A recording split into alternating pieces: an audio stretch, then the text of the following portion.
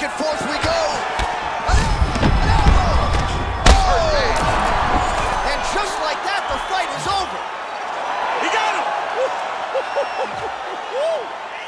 yeah, that right there is a high-level knockout, ladies and gentlemen. Crowd absolutely loving it. Just a perfect shot to end the fight. Landed flush. I'm not even sure his opponent saw it coming. So a huge, huge win for that young fighter enjoy watching this one back. Let's take a look at the replay of the knockout just a moment ago. It was right hand after right hand after right hand. Finally, he found the one that hit the exact sweet spot that ended his opponent's night. And there he is after...